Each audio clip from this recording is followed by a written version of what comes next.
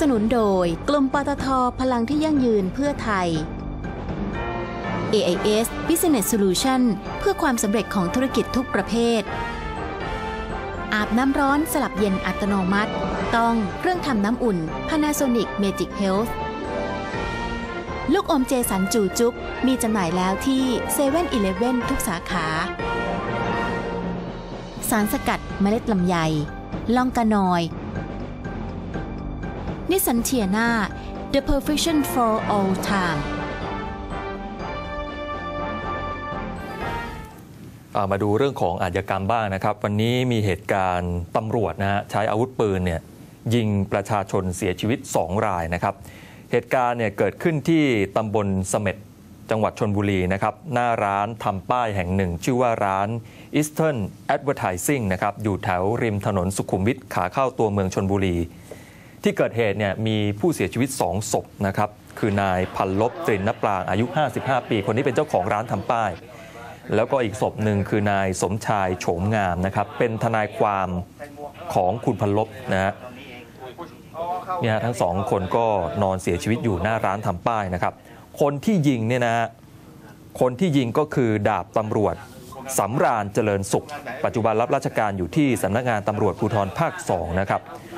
ก่อนหน้านี้เนี่ยร้านทำป้ายแห่งนี้กับร้านที่อยู่ข้างๆ ก็คือร้านขายของเก่าเขามีปัญหาพิพาทกัน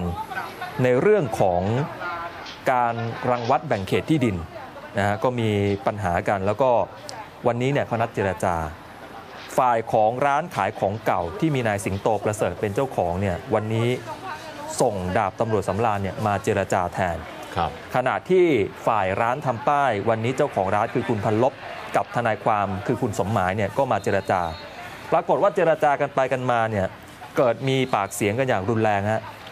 จู่ๆดาบตำรวจสำราญเนี่ยชักอาวุธปืนออกมายิงทั้งคุณพันลบทั้งคุณสมหมายเนี่ยเสียชีวิตคาที่หลังจากนั้นก็หลบหนีขึ้นรถยนต์หนีไปเลยนะฮะ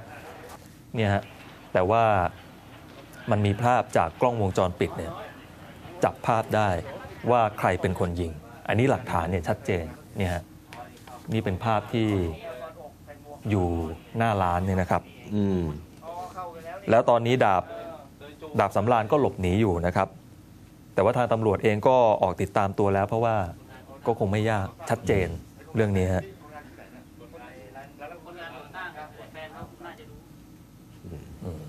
เหมือนกับเมื่อคืนนะฮะก็มีเหตุการณ์ทำนองนี้เหมือนกันแต่ว่าไม่ถึงกับเสียชีวิตครับนะฮะก็เกิดขึ้นที่ ร้านอ้อยคาราโอเกะนะฮะในซอยเปียนนท์แถวลำลูกกาปทุมธานีนะครับ คุณรงชัยอาจสารเนี่ยนะฮะปรากฏว่าศีรษะแตกนะฮะแล้วก็มีภรรยาก็คือคุณปตินพรนะฮะก็ให้การกับทางเจ้าหน้าที่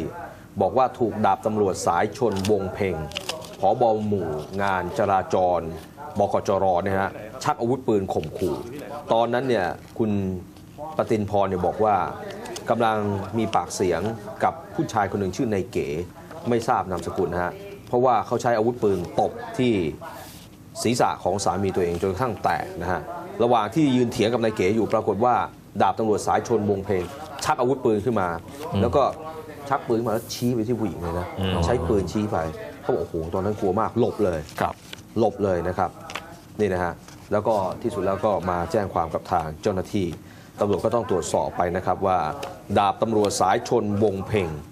หลังก่อเหตุก็หลบหนีนะครับ ซึ่งก็จะต้องตามตัวมาตรวจสอบดู เพราะดูในเบื้องต้นแล้วเนี่ยนะฮะ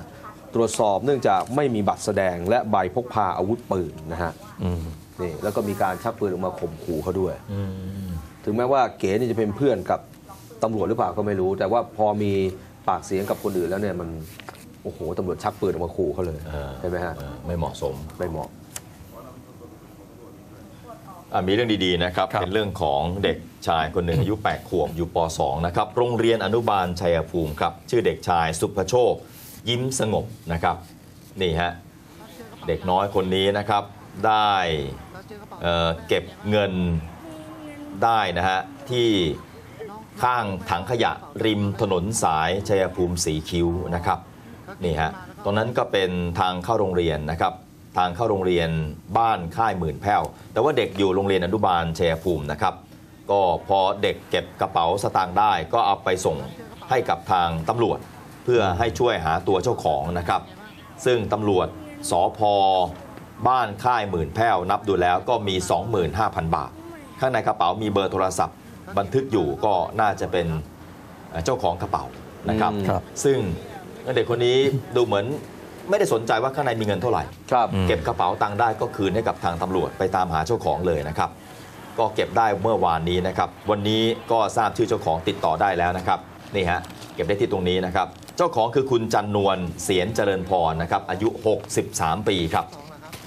อยู่ภาษีเจริญกรุงเทพ อืมก็เป็นเงินที่รับบริจาคมาจากเพื่อนๆ ช่วยกันรวบรวมนะครับได้ 25,000จะเอาไป บริจาคสร้างวัดแห่งหนึ่งที่จังหวัดเลยอืมแต่ระหว่างทางมาทำหายซะก่อนครับนะฮะที่ถนนสายชัยภูมิสีคิ้ว และตัวแกเองก็ไม่รู้ว่าทำหายที่ไหนด้วยเออนะฮะจนกระทั่งเจ้าหน้าที่ตำรวจติดต่อไปตามเบอร์โทรศัพท์นะครับแล้วก็ดีใจมากเมื่อรู้ว่าเด็กน้อยคนนี้เป็นคนเก็บได้ ก็คงจะมีให้รางวีรางวัลกันนะครับนี่ฮะท่านผู้ชมครับ และส่วนที่เหลือก็เอาไป ทำบุญสร้างวัดตามเจตนารมณ์ของคุณจันนวลและก็เพื่อนๆครับอ๋อเด็กผู้ชายคนนี้นะฮะเด็กชายสุภโชคยิ้มสงบนะครับ นี่เป็นบุตรหลานเป็นเยาวชนของชาติเป็นตัวอย่างที่ดี และเป็นแบบอย่างที่ดีสำหรับเด็กๆที่น่าเชิดชูเกียรติต่อไป ครับ แน่นอนเด็กคนนี้จะต้องได้รับการยกย่องในระดับจังหวัดแน่นะครับ ใช่ฮะ ดูหน้าตาแบบซื่อๆนะ ผมว่าทางทางบ้านเขาต้องสอนมาดีด้วยนะ ใช่ ใช่ฮะ เนี่ยชมเด็กก็ต้องชมผู้ใหญ่ชมพ่อถูแม่กต้เขาองด้วยนะฮะ เอาละเดี๋ยวเราพักกันอีกสักครู่หนึ่งครับ นะครับ